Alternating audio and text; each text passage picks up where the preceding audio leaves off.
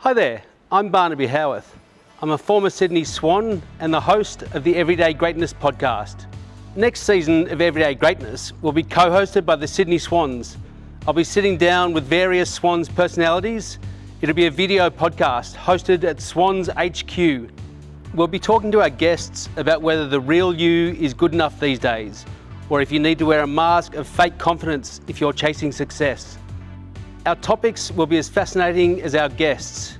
We'll be talking about the First Nations Foundation with the ARA Group's Ed Federman, women reshaping culture, the importance of old mates, the Bloods culture before the Bloods culture, and the creation of an inclusive space here at Swans HQ.